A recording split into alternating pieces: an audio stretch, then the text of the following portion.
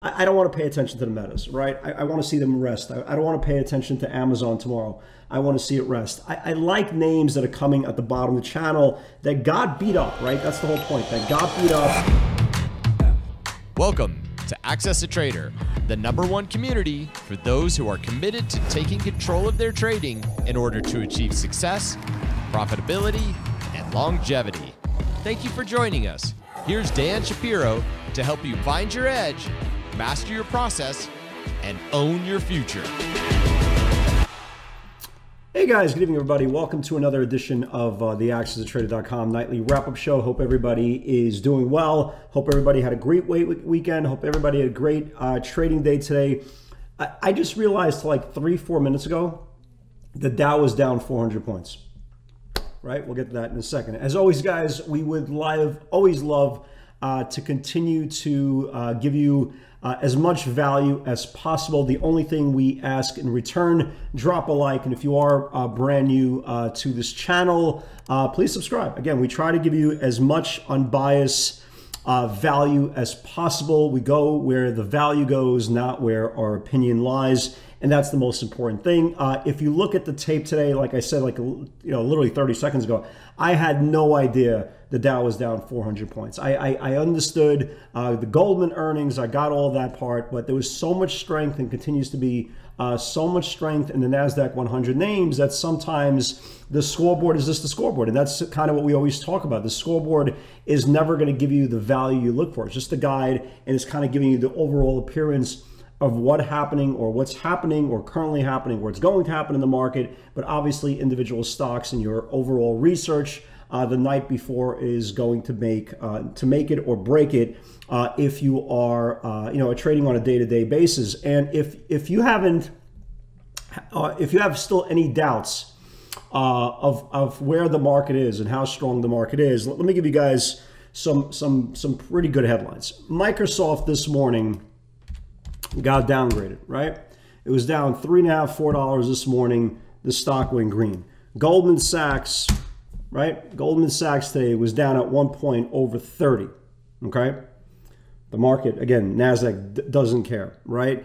Tesla finally broke out. Again, we'll get to individual pivots in a second. Finally got above the range with some pretty aggressive call buying. Again, we'll get that in a second. But if you're still unsure, just look at all the small cap garbage. And I say garbage in the nicest way. Of course, we all know that the leaders of Wall Street are AMC, and GameStop, and of course, if you haven't, you know, any of that, you have BBBY that's going bankrupt. But the point is, you can see everything is flying. Speculation money is flowing. You got Bitcoin still flying. You got cryptocurrency still flying. Even on days that the the rest of the market leaders are taking a breath, right? Like Meta, for example, took a breath. Netflix, for example, right? Netflix, for example, had a big run, took a breath. Uh, Amazon today took a breath. But the point is, the market continues to go higher. And if you watched uh, the video over well over the week over the weekend, uh, we kind of talked about the next measure potential uh, was going to be this 83 level, and that's exactly where we got rejected to off the highs. But the market continues to price improve and is doing exactly the same thing that's been doing now for the last uh, five sessions. Here's a low, higher low, higher low, higher low, higher low, higher highs, all across the board. Uh, now the big number uh, going for the Nasdaq, and again, you know, it might you know it might catch a breather in the next couple next day or so. Uh, you know, it, it's it's it would be healthier for the Nasdaq to kind of pull in.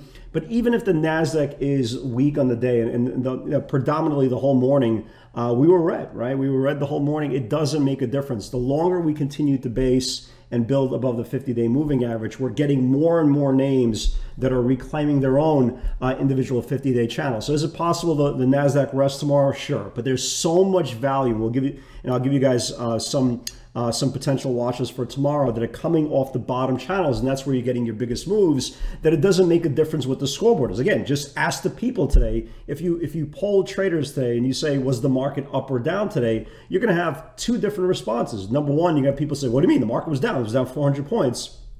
I had no idea till again, till about 10 minutes ago. The NASDAQ, very, very strong. Stocks continued to build, uh, continue to, to really get aggressively over the prior channels. And the most important thing is, again, you're starting to see, or you continue to see, incredible amount of speculation money. They're, they're literally taking up all the garbage, right? And again, if you are a small cap trader, and I'm not big, uh, I'm not a big uh, small cap trader anymore. Uh, I do, you know, do things from time to time uh, on option flow. Like for example, Grab. Uh, you know, I've been talking about this Grab for three weeks. It feels like it's been three months, but it's been three weeks. Finally broke out today.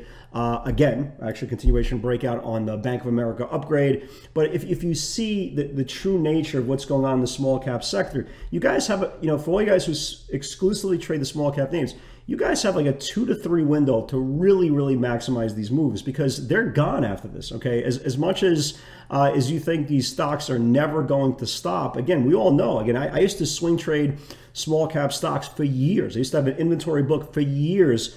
And eventually I stopped because it stopped working. Uh, you're getting about two to four weeks a year that they're going in bananas we're like in middle of what second weeks, uh, two and a half weeks into this. So hopefully you guys are capitalizing on the smaller names, uh, and I bet you in about a week from now, two weeks from now, they're going to start slowing down, and eventually all the stocks that are going up a dollar, two dollars, three dollars are going up two, three, four cents. Unfortunately, that's the seasonality function of the small cap market. Again, traditionally, uh, they're very, very strong during January, as they call deem it uh, the January effect. So if you are a small cap trader, hopefully uh, you guys are uh, doing really, really well uh, in this uh, cyclical move uh, with the small cap names. Other than that, again, business as usual, um, some really good value. And again, going into tomorrow's session, I, I do think maybe you know you get one more day of rest from like a Meta or an Amazon or a Netflix, just because they had such really magnificent rule, moves. They're the ones who really led this rally before we reclaimed the 50 day moving average on the NASDAQ 100. Those names, I want to watch them back testing into the five day rising support. If you guys watched, uh, have been watching this video for a long time, you know how the importance for me, at least, the five day moving average is. It's It shows you who has uh, the control over short-term sentiment. Right now, the bulls do. And if you look at names, for example, even like the Qs, and maybe they'll mirror the Qs, right? I'd like to see the Qs come back to this orange line. You see every single time what happens when the Qs get into the orange line, hits the orange line, bounces, hits the orange line, bounces, hits the orange line, bounces. So it's actually healthier if we could get a, a pullback if again it's not going to make a difference. Uh, again the value is clearly still on the upside but even if we do get a, a, a, a back test tomorrow uh, in the indexes i still have so many names that i'm watching that could potentially uh, clear out their own and start reclaiming their own channels uh, for tomorrow. And the same thing if you look at amazon right like to see a move into this orange line. Again that's the five day you can see here five day bounce five day bounce we're looking for one more five day bounce here as well. So, so far the known, if, again, if you go through the NASDAQ 100 charts, uh, you can you can uh, you find some really good value. So let's start off with Tesla, right? We, have been we've been watching this channel. If you watched uh, last night's video, the weekend video, we talked about the last couple of days or the last week or so that they kept on coming back with bad news. Like for the latest uh, PR that was uh, not great was the fact that they cut their models, right? They cut their models, slashing prices 6 to 20%, and they couldn't get the stock down, right? Couldn't get it up, but couldn't get it down. That's what she said. So we were, we just waiting for it. It was just a matter of time. They're either going to take down the bottom of the channel or take the, took up the, the, top of the channel. They finally confirmed the top of the channel here. Uh, the initial move was only a little less than $2. Then it finally started getting healthier, getting healthier. And then they started coming with some really, really aggressive call buyers. Uh, they were coming for their 132, 133, 135, and some 140 weeklies. And you can see here, this is the highest close in this whole formation. This is the first time we closed uh, above the 20 day moving average in a very, very long time. You would have to go back to, geez, let me see. Here we didn't close, here we didn't close. Uh, man, oh man, oh man, this is far. You'd have to, man, you'd have to go back to like September the first close above the 20 day moving average. And this is exactly what we had here. I would love to see a day two run. I think a lot of you guys would love to see a day two run as well. If it could confirm today's channels, I mean, look how much room we have. And especially if this market continues to push, again, there's no bigger, you know, there's no bigger runaway train. When this thing gets going, this thing really gets going Again, first close uh, above the 50-day moving average since September, so there's a lot of upside. Let's hope for uh, a day to move. Let's talk about uh, let's talk about some pivots, and then I will give you guys uh, I will give you guys uh, some some ideas that I like for tomorrow, coming off the bottom of the range instead of the top. Obviously, Tesla would be, you know, the top watch for anybody who's not long. Uh, but here it is, a grab. You know, we've been in this thing for like three weeks. Uh, gra- upgraded today, maybe finally starts the next leg up. For those who are still in the trade, it's been two weeks. I feel like it's more like three weeks. Uh, it feels like two years. We were joking around, but here was grab. Uh, we started buying this thing into that, and, and this is my point about uh, very selective into small cap stocks. Here's another one. Uh, here's the reason we started buying this thing into the 140s because it finally took out this whole supply. They were coming uh, for some uh, short term uh, out of the money calls, but it finally broke out. Uh, it broke above the high from two weeks ago, 381, traded all the way into the fours. Hell, maybe this thing has another push into the mid fours. Beautiful, beautiful move. Again, just a runner there.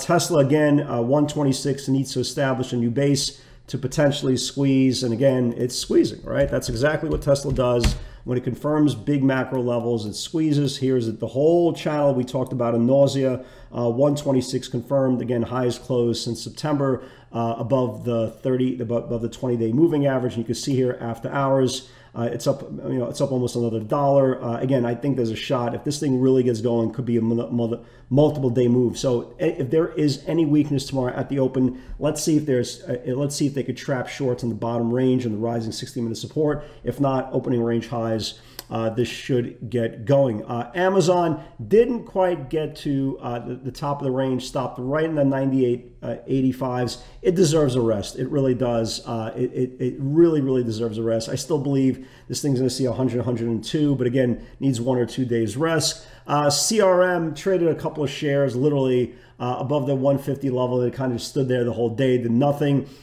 What can you say about NVIDIA? Talk about runaway trains. This is why we continuously talk about the same stocks over and over and over again. Again, you, you, you have to know uh, their, their, their, you know, the way they trade, their tendencies, their personalities. And NVIDIA has been an absolute monster. Uh, fantastic trade at 169.50 is just a continuation from last week. I did not see going up another $7 today, but a beautiful move. I mean, I was very, very surprised uh, and shocked at the move. So it took out the 69.50 and just went out of its mind. Look at this move here took out the 69.50 and just pretty much closed at the highs at 177. Just a crazy, crazy move there. And mRNA, again, here's another one, 192 needs to build. Not a huge move. It actually reversed, but went up to about 195. Uh, you know, went to about 195 and then reversed down a little bit here. Uh, Starbucks broke out, you know, only went up about 30 cents. It's kind of the highest close though in its whole formation. And here's the video, take sales at 173. That was supply, traded all the way up to uh, 77. Uh, Amazon, uh, I still like the bounce. It, this this number is going to change for tomorrow, uh, but that's about it. You know, that's about it. So the key for tomorrow, again, I, I don't want to pay attention to the metas, right? I, I want to see them rest. I, I, don't want to pay attention to Amazon tomorrow. I want to see it rest. I, like names that are coming at the bottom of the channel that got beat up, right? That's the whole point. That got beat up. Uh, that are it's putting themselves in a situation that if it starts confirming their bottom channels, it could wake up. So let, let me give you guys some ideas uh, for tomorrow. Look at Square. Check out this. Look how long. First of all, this is the highest close in this whole formation here. Look how close this thing is from breaking out in November highs. I mean, you're talking about now November, December, Jan. You're talking about three, almost three months, three full months of, of consolidation. If Square gets up above this top of the channel here, this thing could roll. Keep an eye on that. A couple of names that are coming also uh, on the bottom channels. Look at Pan W, right? Look at Pan W today. Look at look how it closed. Again, it's not sexy, right? Nobody's going to turn around sexy. But this thing might be like a day or two away. It kind of reminds you, doesn't it kind of remind you of the Tesla chart, right? The 20-day supply right? So check this out. If, if, if Pan W could just get above this whole channel here, maybe this thing wakes up. And another name in the same group of that whole cloud software is Crowd, right? Look how close Crowd is. If Crowd can just complete and uh, just really reclaim this top of the channel here, maybe this thing wakes up and gets into the 112 level. Obviously, uh, obviously, I love uh, Tesla if it could confirm uh, tomorrow's session. And let me give you guys a smaller name. Look at Palantir right? Palantir is very, very close to confirming the 50-day moving average. And the reason why I bring this up, they were coming for the 750s, a little bit longer uh, distribution, excuse me, a little bit longer expiration. Um, for the for the for the springtime. Uh, they were coming for the 750s, the, the eights. But keep an eye on this thing. If this thing confirms uh, the 50-day moving average tomorrow, who knows? Maybe this thing uh, goes as well. So, guys, have a great night, everybody. Uh, again, for all you guys who are wondering and, and just always on the fence and say, listen, are pivots for me?